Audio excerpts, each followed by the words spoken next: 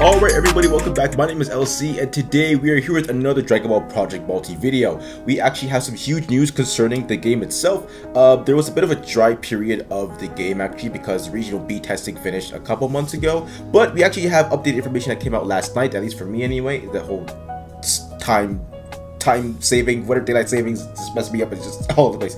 But we have some new news concerning it. Um, again, the game will not be coming out this year. It will come out next year. But they did give us some more information about the game itself and like what their plans are and um, like their pros and cons about the game of the testing whatnot. So we'll go through all that today. Well, thank all you guys for watching, whether old or new viewers or subscriber. I appreciate it all of the same. And now let's get right into it. So, Dragon Ball Project Multi, regional beta testing, and beyond. I wonder what the actual name for Project Multi is going to be, actually. That's because this, this isn't really the official name, I'm pretty sure. Even I'm kind of like, I'm used to this name, though. I kind of like calling it that. But that's besides the point. Anyway, let us start off by saying to all those who participated in the beta test, thank you. With all of the in and out, excuse me, all the in-game and out-of-game feedback we received, there loads to, there's loads to work on. In this letter, we would like to explain a few of our design philosophies, as well as the direction of Project Multi. We'll, we'll be going towards this release. Jesus, I just can't read today. Good lord. Anyways, but before going into details, let's preface this by saying this letter will be pretty long. So, strap into it. Anyways, original intent. Project Multi uh, was designed to provide the experience of freely controlling your beloved Dragon Ball characters wherever, with whomever, and whenever. Okay, not, uh, yeah, yeah, I can see that. Um, through the the franchise first team first team focused multiplayer game. Specifically, we aim to create a game where a fun where a fun competition could be had between most any player, even with a bit of a gap between their skills. Deep understanding of the game and practice will serve you well, but swaying game elements will ensure that each round will play out differently from the last. All of that in roughly 10 minutes for a satisfying experience without overstaying our welcome. The regional beta's purpose was to ensure the above values could be properly felt, as well as other fidelities including but not limited to network stress in-game and in-game balancing. With that in mind, our conclusions for the two weeks are excuse me, two weeks uh, test are as follows. Which honestly, it didn't even feel like two weeks. It felt like longer than that. But it was, it was two weeks apparently. It didn't feel like two weeks. It honestly felt longer than that. That's some tweaking but I guess it was two weeks. It was a fun two. I'm not gonna lie, that was like playing the Project Multi was the most fun I've ever had, man. I'm not even gonna lie to you. Like it was so fun. I love playing that game. I miss it daily. I honestly do. I'm not even like I'm not even joking. I genuinely miss it daily. Uh, so the positives for the game: high interest in future hero characters, of course. Uh, general rules are not too confusing, easy to get into. Yeah, honestly, yeah. For my experience, they're actually pretty easy to, to follow along and get a hold of. Like when I first did the uh, what was the other game? What was the second game? I forget what it's called. But um, it was kind of like the capture the flag one. Um, I at first I was like, wait, what is this? And like I got into it instantly. It made sense. Like it's not too hard at all. Ease of control. Network latency was not was not detrimental to overall experience. Honestly, yeah, the, the network was was really it wasn't really bad. At least for me anyway. Maybe I had good Wi-Fi or something, but yeah, it wasn't really bad. I didn't really have any problems with network issues. Isometric views did not diminish the value of the World of Dragon Ball. Of course, honestly, you think it would, but it didn't. It honestly didn't. General aesthetics are in tune with fan expectations. Demand for cosmetic items exceeded expectations. Dude, I'm telling you right now, they could do so much with the customization, dude. Like, I pray that they they actually like cook with this, and they actually did. Like with a short term period, they cook with it. But I I pray they can just do because they can do so much more, so much like various costumes. It would just be so cool. So, and the thing is, I'm not the only person who says it. A lot of people actually again, like I said, demand for cosmetic items exceed expectations. So like they, people want more. So I know they could give it too because they just they cooked.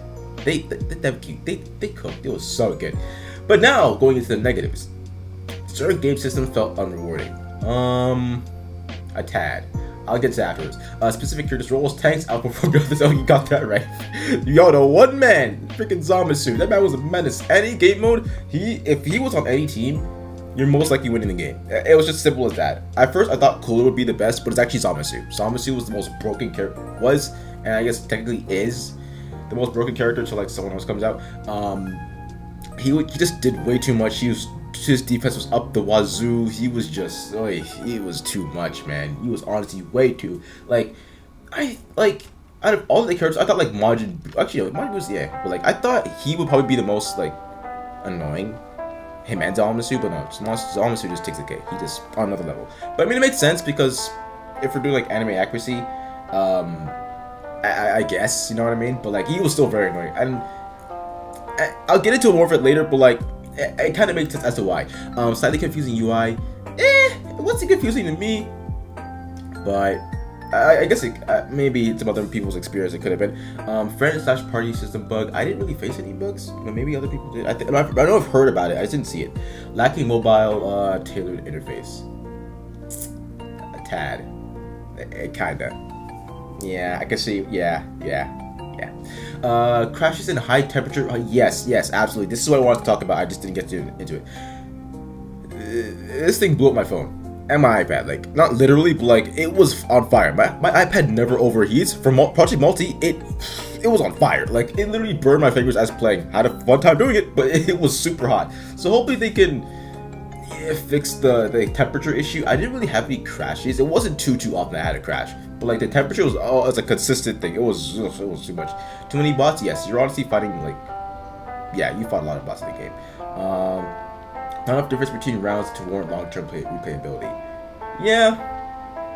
Yeah. They're not wrong. Like, it's it was kind of the same thing every time. Which wasn't terrible, but like, it was kind of like the same outcome. So it wasn't really like... Like, for me, I think I love Dragon Ball, right? And honestly, this was a fresh new take. It's probably why I was so like heavily invested into it. I played daily. But like, as someone who probably played like a MOBA, not me, but like someone who played MOBA like consistently, maybe think this could probably like bore someone out on a you know on the basis like I don't know, but like at least they addressed it and they know what to do now. Our intention is to further strengthen the positives and solve the negatives to provide this provide the experience we've originally envisioned. At the same time, we hope to keep expectations on what's to come at launch at a realistic level so as not to cause any disappointments. At least again, at least they're aware. You know, some dumb devs just like they they might know it, but they don't care, or they just might not know it. You know what I mean? So at least they know. Now, getting into the major changes. Before moving on, please note that not all of our changes and, and fixes excuse me, are set in stone yet. Discussions and planning are still being made and details of our plans will be expanded on in the, in the coming months through our official channels. With that, here are some of our major changes and directions of the future of Project Multi. Great Ape, matchmaking, hero characters, and game rules. So first, Great Ape. Its original objective was up to the ante of the accelerate the game and provide a chance for either team to okay. nah nah nah nah nah that's not what happened. I mean, yes, yes, but uh, yeah, it's yeah, yeah. They, they basically say both objectives were accomplished, but the latter came at a detriment for majority of players. Like, like if you were on a losing team, like I'm sure it could help you out. It I guess not. It could. It mainly helped you out a bit. You can still lose, obviously. But if you're already winning the game and you got that great ape, the game was done. It, it, it, was, it was over. Like you, you get the great up, you basically win the game. That's pretty much how it is. Um, so I can see why people got mad at that, or they probably didn't like it as much. As was our original design philosophy, the grade will still maintain the function to encourage a, a climactic end of round, but the boon it provided to its defeaters will be removed entirely. Um, but the boon it provided to it, what did it do to the, the, the defeated again? I don't know. Like, it'll still give the buff and like I'm pretty sure I think um to like the people get it but the boon it provided to his defeaters I don't know what this means I I'm, maybe I'm just dumb but um uh I'm guessing like I don't I don't think it added any debuffs maybe it did did it slow you down I don't I don't remember it was, I remember what I know Zenny like both the Zennies like their times were speed up sped up and they both go attack a, a boss so there's that I just don't remember anything happening to the defending team. You kind of just had to like fight your way back. But I don't know. Uh, we'll see. Okay, anyways. Matchmaking. In order to pleasantly continue playing multiplayer games, it is essential to shorten the matchmaking and loading time as much as possible. Yeah, yeah, honestly, every now and then the matchmaking did take a bit long for me. Um, let us admit that we did we that we did that we excuse me overdid the tuning during this during the beta test forcing the game client to instantly give up when looking for other players to match. You got that right. It just backed this out and put you in another match. This is simply our mistake, and although bots will not disappear entirely, matchmaking in general will be made uh, better by launch. See, at least they understand. You know what I mean? Like these guys are so like these like the like the most like open devs have ever like like like like seen and like listened to. Like this is like it's very inspirational here. Um, yeah, at least they're aware and they're actually working on a fix for the loading times, right? Because it was either it took too long, it backed you out, or you just get paired with bots, right? So at least they're aware of it and they're making a fix. Now, hero characters. Okay, now this is where something is going to be controversial here, and I'm going to explain my my take on it. Um, But let me know what you guys think of this in the comments below, because I actually really want to know what you guys' opinion about this specific part here. Hero characters. To provide a chance for every one of our hero characters to shine, uh, we will be making frequent balance changes whether they directly or indirectly change how a specific hero behaves. One key point we hope players un will understand with this is that not every character will perform perfectly in the same meta environment. That's what I want, like, that's what I really, like, I want to touch more on this, this is what I want to talk about, but I'm gonna finish up this uh, paragraph first, actually, both these actually. There will always be certain heroes outperforming another in different scenarios, and we feel that that is what will make this game fun and engaging. Our aim is to shift the spotlight from time to time on different heroes to incentivize a variety in gameplay. That is not to say our beta test environment was perfect, it was not, but that's okay. Uh, on a note of hero characters, the shop level and hero coins are planned to be removed. No! Instead, hero acquisition will be consolidated into the collection level. Hmm, what do you mean by that? Um, rewards with a curated order of heroes available. As heroes are needed, additional level rewards will be implemented for players to acquire them, um, them from. For those of you who may be worried about the heroes in the farther ladders of collection level, rewards may provide for advantages. Reassure that every hero will have a strengths and weaknesses. Um, I kind of, not really, kind of lost the collection level, but uh, maybe my bridge is not in right now. But I want to talk about the whole meta changing thing. They, in my opinion, they nailed that. Like they made it abundantly clear that like there's to be periods where some characters are better than others, and that's an okay thing. That's what keeps the game refreshing, and I think that's what a lot of people kind of get wrong about like these kind of like not just like mobile games, but like fighting games in general, right? Or like just games with, with metas in them, right? People think that like if a character can't last through like every single meta that's cha- like that's been throughout the game, then the character's useless or the character just like fell off or anything. But that's not entirely the case sometimes it's just they're not built for that meta, and that's okay. They're built for maybe like three like about like three consistent metas, and the fourth one they fall off. You know what I mean? Like it's like it happened. It happened a lot in Dragon Ball Legends, right? And you see it time and time again. Like a character is good for a meta or two, and then they're not as good because a counter to them has come about, and people get mad at that. And it's like you shouldn't get mad at that. That's what keeps the game going. It's a never-ending cycle. That has to happen. If a character is just consistently, I mean, this is my opinion, a consistently is like neutral, like peak. I mean, don't get me wrong, that a character that's good all around, you just never aged out.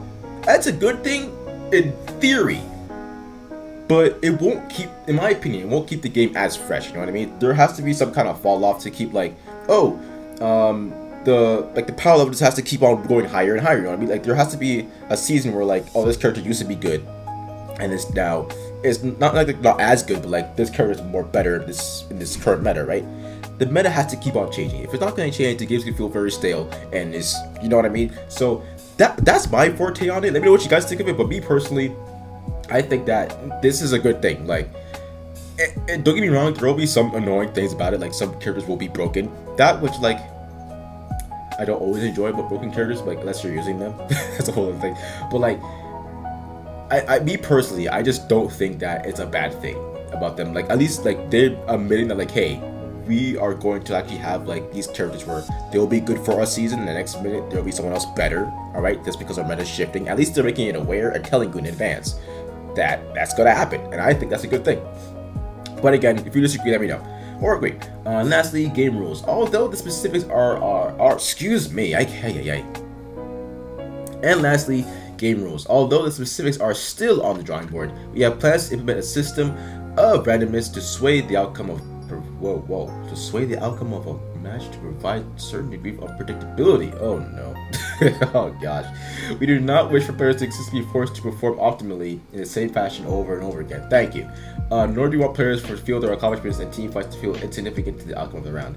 We understand that the Great Ape was not optimal in the matter. Regardless, additional rules to be worked on and will be disclosed in the coming months. Yeah, yeah, I agree with that. I think everything in this like newsletter has been like spot on. Like, it's it's good that like they're, adding unpredictability.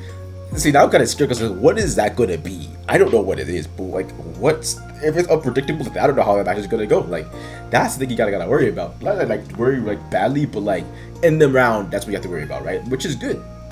But um, yeah, like you don't want him to feel insignificant. Yeah, you know what I mean. Like when you got the Great eight, it's kind of like when I played and I was like, okay, basically I could get the bosses right, or I could just wait for the Great Ape to come and I could just just win the game. That's basically my mindset was.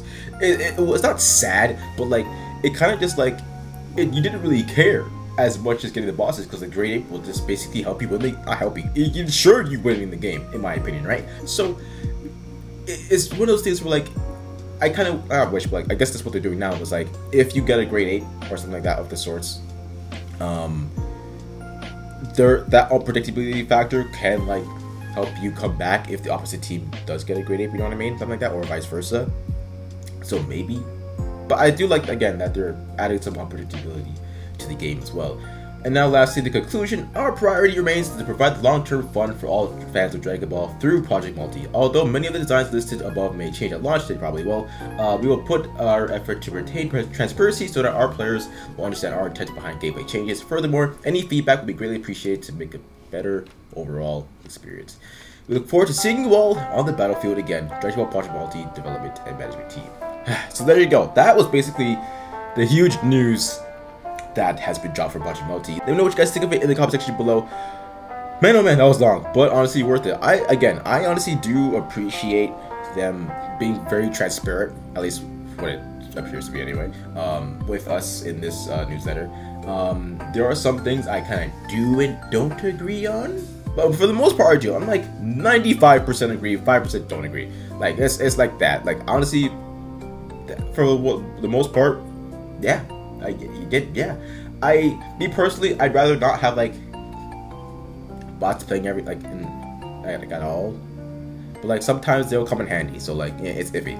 But for the most part, yeah, the, again, spot on. The part I really enjoy, not enjoy, but like I really agree with is the hero character portion. Like there will be meta shifts, and there will be time to time where like characters will have different moments to shine, right? So like that's just how the game's gonna work. That's how most games work. But again, some people don't like that. Um, but yeah, let me know what you guys think of Project Multi coming back in 2025, as well as the new information that has just dropped recently. Once again, my name is LC. Have an amazing day. God bless, and I'll catch you all later.